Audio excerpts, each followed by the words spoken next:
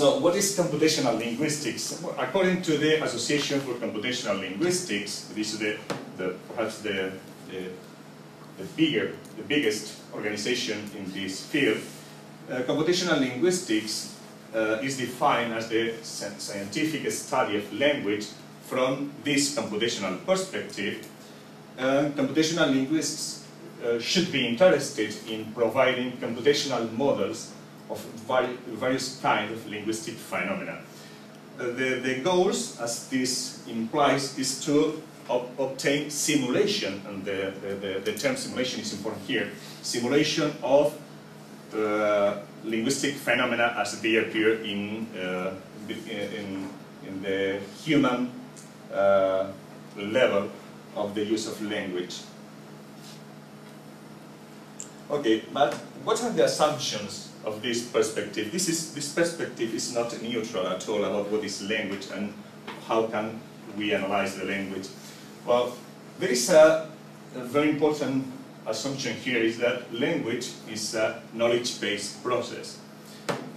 It, perhaps we, we can consider this is not dangerous, but we have to take into account that this, this is an assumption.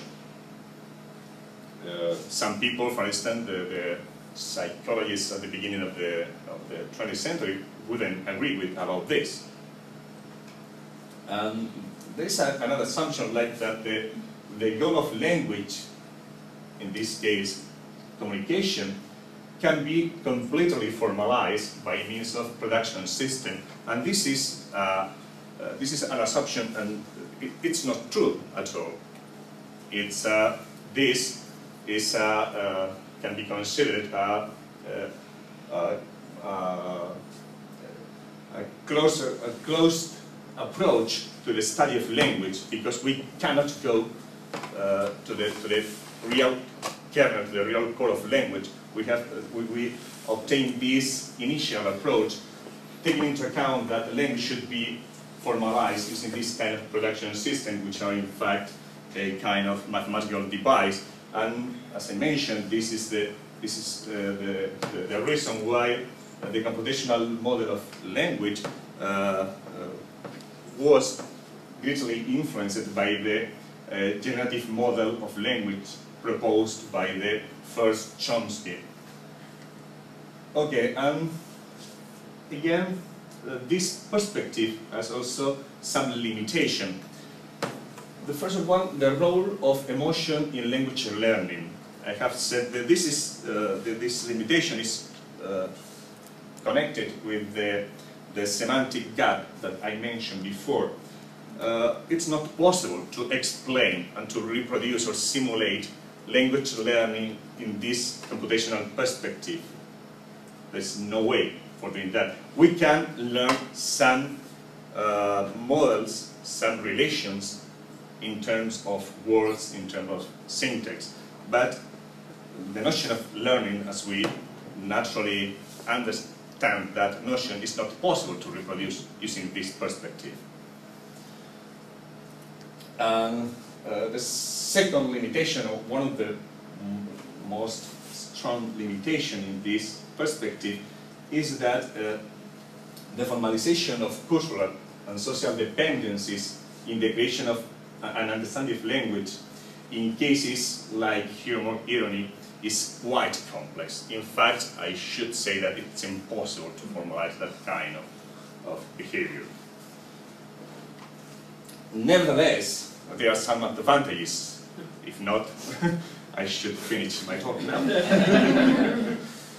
uh, okay, computational linguistics provides methods, notions, and tools to study human languages. And in fact, I think that human language is a very complex phenomenon. All the metaphors may be useful to understand. And this is, uh, from a theoretical point of view, this is another useful approach to the study of language.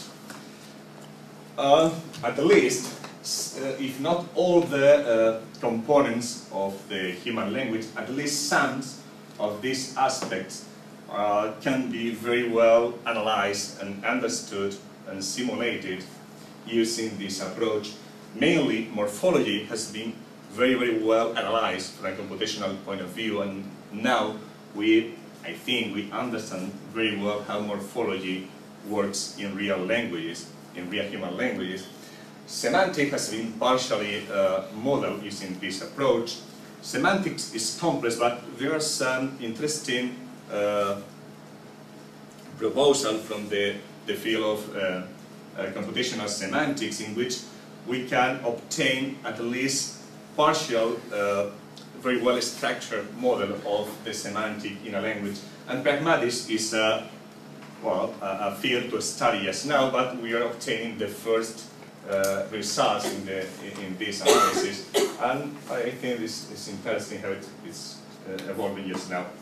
And uh, as part of this general framework that constitutes computational linguistics, natural language engineering focuses specifically on the implementation. This has a more uh, in engineering uh, interest, a more is a more engineering or, uh, oriented uh, uh, subfield of computational linguistics.